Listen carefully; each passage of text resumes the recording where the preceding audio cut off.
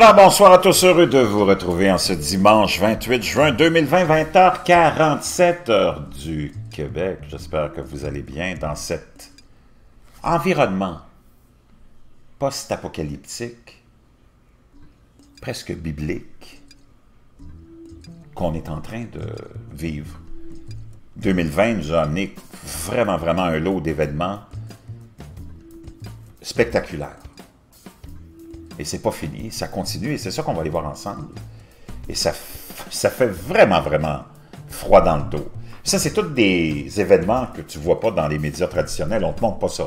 Dans les médias traditionnels, on est occupé à te distraire, à te faire oublier ce qui est vraiment en train de se passer au niveau climatique, au niveau financier, au niveau économique, au niveau social. On est juste en train de distraire les gens avec des insignifiances à longueur de journée. Autant dans les médias traditionnels que des médias alternatifs qui sont aussi, sinon plus insignifiants que les médias traditionnels. Quand tu es là à prétendre que le sida, ça n'existe pas, puis que c'est juste pour vendre des médicaments. Je peux dire une chose, moi j'ai eu beaucoup d'amis. Parce que comme je suis dans le milieu, dans le public, j'ai côtoyé beaucoup de, de gens de la communauté gay, lesbienne, mais surtout gay. Puis de dire que le sida n'existe pas, mon chum, c'est de vraiment, vraiment être tellement stupide, d'être tellement, tellement aberramment ou volontairement idiot que c'est dégradant, puis que ces gens-là sont encore plus insignifiants que les médias traditionnels. Vraiment, c'est pathétique. Comme d'avoir prétendu que la crise euh, sanitaire actuelle n'existait pas non plus, que c'était un événement artificiellement créé pour faire tomber Donald Trump. Who cares about Donald Trump? Il n'y a pas besoin d'un événement artificiel pour tomber, il a juste besoin de lui-même pour tomber. Puis d'avoir prétendu que tout ça, ça n'existait pas, je me demande dans quelle dimension ce monde-là vit, mais enfin, on va passer à autre chose? On va aller voir tout de suite ces événements-là qui sont rapportés nulle part, mais qui sont vécus pour vrai mais c'est sûr que quand tu rapportes ça, puis quand tu vas voir ça, tu te dis Wow, OK, on n'est pas sorti de l'auberge. On n'est vraiment pas sorti de l'auberge. On va aller voir des titres. Strange Sound, hein, un site que j'aime beaucoup, que vous connaissez. Dernière nouvelle en géologie, forte éruption sur les volcans Pacaya au Guatemala et Nishinoshima au Japon. Puis apparemment, il y a eu un glissement de terrain qui a enseveli un village en Indonésie. On va commencer avec celle-là. Première nouvelle qui nous vient du, du 28 juin, donc aujourd'hui. Éruption du volcan Pacaya au Guatemala. L'activité du volcan Nishinoshima, situé dans l'archipel des îles Ogasawara, au sud-sud-est de Tokyo, au Japon, se poursuit à des niveaux élevés je vais vous laisser tout ce lien. Je vais vous laisser le lien de Strange Sound, et vous allez avoir accès à toutes les nouvelles pour aller visionner les vidéos là-dessus. La garde côtière japonaise a observé de fortes explosions qui ont généré un panache de cendres denses qui a atteint environ 8500 pieds au-dessus du sommet. Immense, immense panache. En ces cendres qui restent en suspension dans l'air nous amènent une couche additionnelle. Je vous en parle de moins en moins du grand minimum solaire parce qu'on est dedans. Je pense qu'il n'y a plus aucune, aucune, aucun doute, puis aucune euh, branche de la science sérieuse qui doute de ça. Je pense que les évidences sont là. On est vraiment dans un, entré dans un grand minimum solaire. Donc, pour plusieurs décennies, on va se retrouver avec, à cause de ça, naturellement, la faible activité solaire, l'augmentation de l'activité volcanique qui vient automatiquement dans un grand minimum solaire, comme la, la grande euh, augmentation de l'intensité des, euh. Ça aussi, c'est tout, tout répertorié dans la littérature sur le dernier grand minimum de Maunder, entre autres. Naturellement, va nous amener vers des refroidissements globaux. C'est tout cyclique. Puis c'est sûr qu'on veut distraire le monde parce que c'est pas un cadeau quand tu embarques dans un grand minimum solaire. Un grand maximum solaire, il n'y a rien d'inquiétant là. Parce que c'est rare, puis quand il y en a un, ça amène beaucoup de prospérité parce que quand il fait chaud, ben beaucoup plus de facilité à vivre, à survivre, à produire, puis à produire, puis à produire de la richesse. C'est pas mal plus difficile dans un contexte de grand minimum solaire. C'est pour ça qu'il y a beaucoup, beaucoup d'effervescence dans les médias pour distraire les gens. Des épanchements de lave continuent d'être actifs sur les pentes nord-est du volcan et une très forte anomalie thermique a été observée sur les images satellites. La vidéo ci-dessous a été tournée le 25 juin, donc vous pourrez voir tout ça. La prochaine animation montre l'évolution impressionnante de la surface du volcan Nishinoshima entre le 22 novembre 2019 et le 19 juin, 19 juin 2020 telles que capturées par des images satellites de SAR montées sur le satellite japonais d'observation de la Terre Daichi 2. Donc, vraiment spectaculaire. Pendant ce temps, un énorme glissement de terrain a balayé une route de montagne et quelques maisons en bas d'une colline dans la région rurale de l'Indonésie. Dans cette vidéo choquante que vous pourrez aller visiter, c'est vrai que ça donne tout un choc. L'effondrement de la route Trans-Sulawesi euh, a été capturé par un habitant de Batan-Bara, dans le district de Warabara. Aucune victime, tant mieux, n'a été signalée. Enfin, une éruption impressionnante et très photogénique s'est produite le vendredi 19 mai au volcan Pacaya du Guatemala, crachant de la lave et des cendres dans l'air pendant quatre jours. Aucun blessé ni dommage n'a été signalé. Les photos sont géniales. Comme le montre cet article davantage, d'éruptions volcaniques et de phénomènes météorologiques extrêmes peuvent se produire dans les prochaines années en raison, tiens, tiens, du grand minimum solaire. C'est exactement ce que je vous disais au début. Je n'avais même pas lu ça. De toute façon, je vous en parle souvent parce que de toute façon, pas moi qui ai inventé ça, c'est les écrits et la science. Parce que on a une augmentation des rayons cosmiques aussi derrière les attaques de foudre qui ont tué 107 personnes en Inde pendant la nuit et le plus long méga flash dans le temps, dans l'histoire en Argentine et à distance du Brésil. La foudre illumine le ciel lors d'une tempête dans le comté de Weld au Colorado. Les chercheurs ont développé une nouvelle technique pour exposer les conditions à l'intérieur des nuages orageux qui produisent des éclairs. La foudre est une décharge électrostatique naturelle au cours de laquelle deux régions électriquement chargées de l'atmosphère, à l'intérieur d'un seul nuage d'orage de nuage à nuage, ou du sol, s'élargissent temporairement, provoquant la libération instantanée d'un gigajoule d'énergie. La foudre provoque le tonnerre, un son provenant de l'onde de choc qui se développe lorsque le gaz ou les gaz au voisinage de la décharge subissent une augmentation soudaine de la pression. Donc, Scott et Hall, 2014, suggèrent que le vent solaire contrôle la foudre sur Terre, l'augmentation du flux de rayons cosmiques galactiques, dont je vous parle souvent, peut déclencher directement la foudre par une décomposition galopante des électrons conduisant à la décomposition. Grand minimum solaire, augmentation des rayons cosmiques galactiques, déclencheur de la foudre par la décomposition galopante. On peut voir ici l'augmentation des rayons cosmiques galactiques d'à peu près 22% depuis 5 ans. On est au plus haut. Au moins 107 personnes sont décédées jeudi des suites d'éclairs dans le nord et l'est de l'Inde, 83 dans l'État de Bihar et 24 dans l'Uttar Pradesh. Des dizaines d'autres ont été blessés. Le nombre de morts pourrait augmenter encore alors que les autorités attendent des rapports sur les victimes à l'intérieur de l'État. Dans l'Uttar Pradesh voisin, la plupart des décès ont été signalés près de la ville sainte de Prayagraj, près de la frontière avec le Népal. Pendant ce temps, un nouveau record du monde de foudre à 4, de 440 000 a été confirmé par l'Organisation météorologique mondiale. Le méga flash qu'on voit ici a parcouru cette distance sur des partie du sud du Brésil, le 31 octobre 2018, a indiqué l'OMM, c'est cela équivaut à la distance entre Washington, D.C.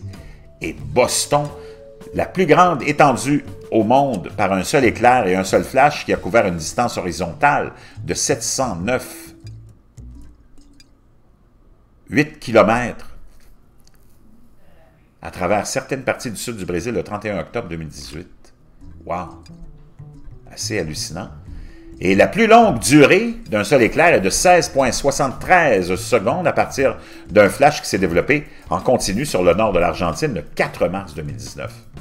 Ce sont des enregistrements extraordinaires d'événements de foudre unique, a déclaré le professeur Randall Severny de l'Université d'État de l'Arizona, rapporteur en chef des conditions climatiques de l'OMM dans nos écoles, dans nos classes, hein, quand vous étiez petit, il y avait toujours un rapporteur en chef. Mais lui, c'était d'un autre type. Hein. Là, c'est le rapporteur en chef des conditions météorologiques. Il est probable que des extrêmes encore plus grands existent et que nous pourrons les observer à mesure que la technique de détection de la foudre s'améliorera. Plus les rayons cosmiques et d'anomalies de foudre sur Strange Sound, on vous en, on vous en partage beaucoup ici, c'est vrai. C'est vraiment, vraiment euh, hallucinant. Maintenant, en Scandinavie, comme si ce n'était pas assez, on a un mystérieux pic de rayonnement détecté en Scandinavie. Le niveau de radioactivité, les niveaux ont grimpé dans l'atmosphère dans le nord de l'Europe, ce qui pourrait indiquer des dommages dans une centrale nucléaire dans l'ouest de la Russie. La pointe radioactive suggère des dommages à un élément combustible nucléaire. L'opérateur nucléaire russe Rose Nergotom a quant à lui démenti les problèmes liés aux installations de Kola et de Leningrad, les deux centrales nucléaires opérant dans la région. Plusieurs agences de surveillance scandinaves ont détecté des niveaux élevés de radionucléides. Donc, je reviendrai là-dessus, vraiment. Euh, je vais faire plus de recherches. Imaginez-vous maintenant que les océans au plus profond de la Terre déclenchent des tremblements de terre, des tsunamis et des volcans près de la surface. Les scientifiques savent depuis des décennies que lorsque les plaques tectoniques sont poussées les unes sur les autres dans les zones de subduction, l'eau est entraînée, créant un énorme réservoir loin sous nos pieds mais ce n'est que maintenant que les géologues ont démontré que les tremblements de terre qui secouent la surface de notre planète sont entraînés par les eaux des profondeurs. Des nouvelles recherches révèlent comment l'eau dans la terre profonde déclenche des tremblements de terre et des tsunamis. Lorsque les plaques tectoniques sont poussées les unes sur les autres dans les zones de subduction, l'eau est entraînée, créant un énorme réservoir sous nos pieds. L'influence de ces vastes océans souterrains sur la géologie est suspectée depuis un certain temps, mais ce n'est que maintenant, avec un nouvel article scientifique, que les scientifiques pensent qu'ils ont trouvé une confirmation au fur et à mesure que les plaques partent de l'endroit où elles ont été fabriquées pour la première fois dans les dorsales médio-océaniques vers les zones de subduction. L'eau de mer pénètre dans les roches par les fissures, les failles en se liant aux minéraux, a déclaré le docteur George Cooper. En atteignant une zone de subduction, la plaque de descente se réchauffe et se serre, ce qui entraîne la libération progressive d'une partie ou de la totalité de son eau. Lorsque l'eau est libérée, elle abaisse le point de fusion des roches environnantes et génère du magma. Ce magma est flottant et se déplace vers le haut, conduisant finalement à des éruptions dans l'arc volcanique sous-jacent. Donc vraiment intéressant, ça aussi vous pourrez consulter cet article-là. Donc, pendant ce temps-là, au Colorado, pendant qu'ici il a fait quand même beau et chaud, ben, c'est comme conduire en hiver, les gens glissent sur les routes alors que Freak, Hailstorm, une tempête hallucinante, Freak Hailstorm, une tempête hallucinante de grêle crée des rivières de grêle dans le Colorado. Une tempête de grêle d'été a déferlé sur le Colorado vendredi le 26 juin. L'anomalie météorologique a fait glisser des voitures sur la route, inonder les rues et créer une rivière de grêle. On se rappelle, depuis plusieurs années, ces phénomènes-là se produisent. On les a vus beaucoup en Espagne et en Italie, si vous vous rappelez. Je vous en ai déjà parlé et partagé ces événements-là euh, il n'y a pas très longtemps, l'été dernier, l'été précédent aussi. C'est un modèle qui revient aussi hein, dans un grand minimum solaire. À la fin ou avec la fin de juin, son heure de grande écoute par les intempéries du Colorado au Wyoming. Hier, le 26 juin, une tempête de grêle destructrice a frappé Castle, Rock, Colorado Spring et Falcon, Colorado, une population très peuplée. Regardez les images que vous allez pouvoir voir, c'est hallucinant. La rivière, regardez la rivière de grêle, prise juste avant ou devant la porte d'entrée de Gilliland à Castle Rock. La tempête intense a déclenché des alertes météorologiques nationales, causé des dommages et fait glisser des voitures sur la route. Pam, pam, pam, pam. Sur la route. Au Sahara, on a eu aussi euh, vraiment euh, hein, euh, ben, au Sahara, plutôt une tempête de poussière du Sahara sans précédent frappe les États-Unis, du Texas à la Floride. un énorme nuage de poussière a finalement frappé les États-Unis après avoir parcouru 5000 milles du désert du Sahara à travers l'océan Atlantique. Le panache a assombri le ciel à Porto Rico plus tôt cette semaine, provoquant certaines des concentrations atmosphériques d'aérosols les plus élevées que l'île ait jamais vues. Hier matin, le nuage avait commencé à se glisser sur la côte du Golfe les météorologues disent que le ciel brumeux pourrait durer jusqu'au week-end. On peut voir ici la tempête de poussière du Sahara qui atteint les États-Unis du Texas à la Floride et en passant par Géorgie aussi. Ce panache particulier est parmi les plus extrêmes jamais enregistrés.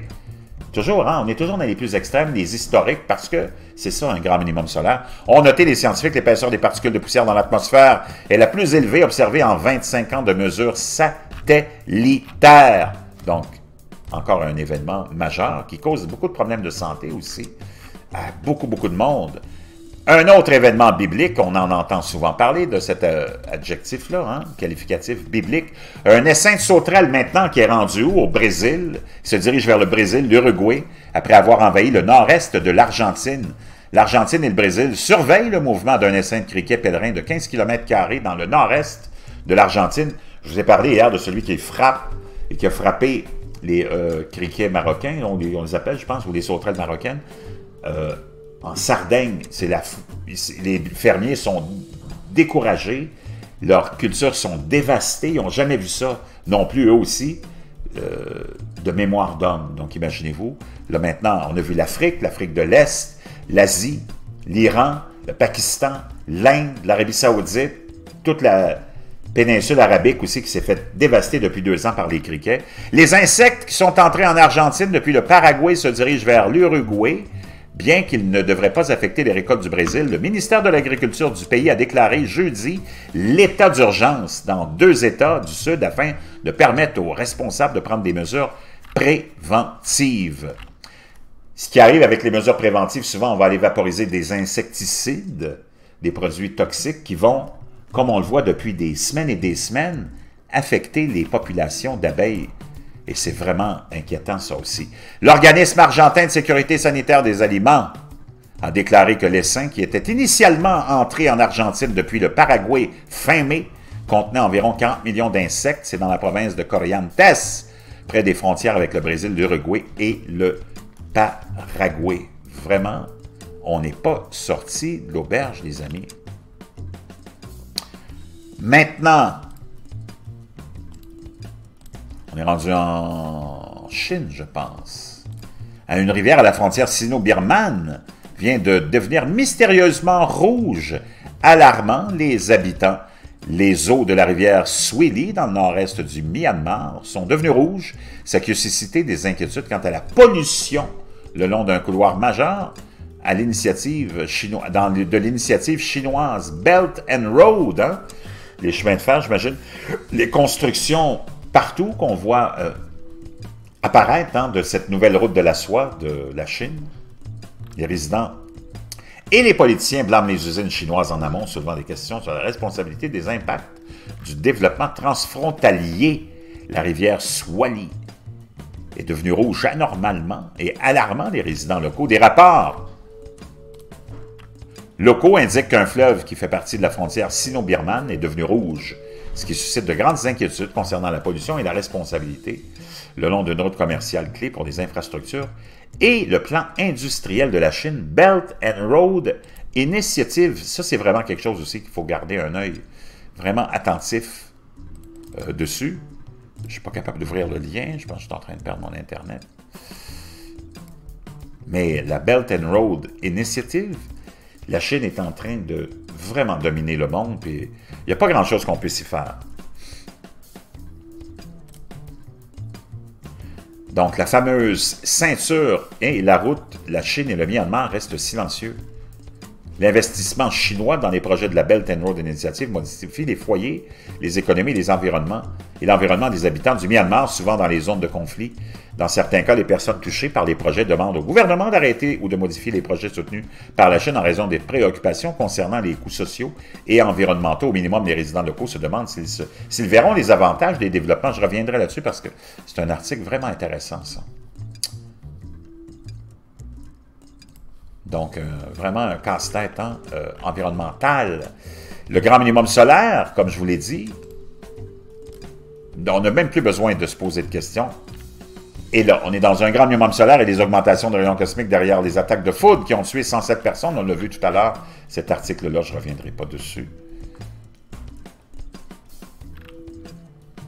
Maintenant, on a eu une anomalie aussi euh, ici qu'on va aller voir, qui est vraiment aussi relié avec euh, notre minimum solaire. Une anomalie magnétique mondiale a été enregistrée à travers le monde, des États-Unis en Chine et en Antarctique le 23 juin. Et c'est très bizarre pendant le minimum solaire le plus profond d'un siècle. Dernièrement, le champ magnétique terrestre est resté calme, très calme. Le Soleil est dans les fosses de ce qui pourrait s'avérer être le minimum solaire le plus profond. Depuis un siècle, les tempêtes géomagnétiques ne se produisent tout simplement pas. Mais le 23 juin, les instruments de Preston, au Royaume-Uni, ont détecté une anomalie magnétique et le champ magnétique local a oscillé comme une onde sinusoïdale pendant plus de 30 minutes, totalement bizarre, non? On voit ici le graphique de, cette anomalie magnétique globale qui a été enregistrée dans le monde. Il y a plein d'anomalies en 2020, là, vraiment. Je vous l'ai dit, il y a toutes sortes de choses qui se passent sur plusieurs fronts. Puis c'est un réalignement total, cosmique, économique, social, politique, universel qui est en train de se produire. Il y avait, en effet, euh, il, n'y avait en effet rien montré sur les données de vent solaire du satellite D-Scover de la NOAA, aucune augmentation de la vitesse du vent solaire et d'autres facteurs qui pourraient expliquer la perturbation. Une anomalie magnétique similaire a été détectée dans les îles Lofoten de Norvège, euh, et Rob Stams a détecté une anomalie similaire sur son magnétomètre. C'était remarquable, raconte Stams. Notre champ magnétique a oscillé d'avant en arrière d'environ un tiers de degré et j'ai également détecté des courants au sol avec la même période de 10 minutes. On peut voir l'anomalie magnétique mesurée en Norvège le 23 juin. Et une surtension électrique et une anomalie magnétique similaire ont été signalées à nouveau en Norvège au début de cette année, en janvier. On voit l'article ici, le lien qui nous amène là. Quelque chose d'inattendu s'est produit dans le, sol du nord de la Norvège. Donc, soudain, les courants électriques ont commencé à circuler, créant de fortes variations à la fois des courants au sol et du champ magnétique local comme une onde de choc. L'onde de choc magnétique a été capturée euh, par des capteurs de l'Observatoire géophysique Polar Light Center à Luften. 15 minutes avant la surtension électrique en Norvège, le vaisseau spatial ACE de la NASA a enregistré des anomalies dans les champs magnétiques interplanétaires près de la Terre et une augmentation de 5 fois de la densité du vent solaire. Les scientifiques pensent que l'explication la plus plausible de ces phénomènes étranges est que la Terre peut avoir traversé un pli dans la feuille de courant héliosphérique car de tels croisements peuvent provoquer ce genre d'effet. Donc vous irez lire ça, c'est vraiment intéressant aussi. Puis quand tu continues, c'est, je sais, je voudrais arrêter, mais c'est, comme je suis incapable parce que c'est nouvelle cataclysmique biblique après nouvelle cataclysmique et biblique. C'est une urgence croissante. 450 milliards de criquets ont été tués cette année, mais des essaims dévastateurs continuent de ravager l'Afrique, l'Amérique du Sud, l'Inde et le Moyen-Orient. 25 juin 2020. Les groupes humanitaires et les gouvernements locaux ont réussi à tuer environ 450 milliards de criquets cette année, mais avec le manque de financement en outre, cet effort pourrait être en 20 ou pourrait être 20 dans le pire des cas, 5 millions de personnes supplémentaires souffriront de la faim en raison des ravages des essaims en Afrique, en Amérique du Sud, en Inde et au Moyen-Orient. Des essaims massifs de criquets ont dévasté des vastes étendues d'Afrique, d'Asie et du Moyen-Orient depuis janvier, menaçant l'approvisionnement alimentaire de millions de personnes. Encore là, des images hallucinantes. C'est quand même, tu voudrais ignorer ça? Donc, on est encore avec la tempête de sable ici, hein, euh, qui a frappé le Mexique aussi.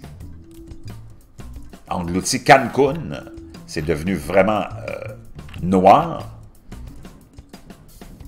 Et on a le barrage le plus grand hein, en Chine qui menace 400 millions de personnes, je vous en avais parlé aussi. Et euh, une énorme éruption volcanique d'Alaska lié à la montée de l'Empire romain. Non, ça, c'est une histoire dans le temps, on nous rappelle quelque chose, mais on a eu un tremblement de terre qui a frappé la Californie 5.8, qui avait été classé 6 le 24 juin. Les Caraïbes s'étouffent dans la poussière saharienne. Mexique, tremblement de terre de 7.4, vous vous rappelez de ça, je vous en ai parlé, ça c'était le 23 juin. Aux États-Unis, on pourrait avoir un fléau acridien aussi aux proportions bibliques qui pourrait dévaster les États-Unis. On se retrouve avec un autre genre d'insectes là-bas. Krakatoa qui a commencé aussi à revenir euh, plus actif. Et c'est comme ça, chers amis, puis on va se terminer avec ben, cette nouvelle qui nous venait de l'Inde. Hein. Ça aussi, je vous laisserai ça. De ces 130 personnes tuées lors de violents orages qui ont frappé l'Inde. L'état d'urgence en Serbie-Bosnie, je vous en avais parlé, mais c'est quand même d'actualité. Hein. Des inondations partout. On n'est pas au bout de nos peines. Et c'est important de savoir parce que quand tu sais ça, au moins, tu peux te préparer. Parce que peut-être qu'on sera les prochains sur la liste. Je vous reviens.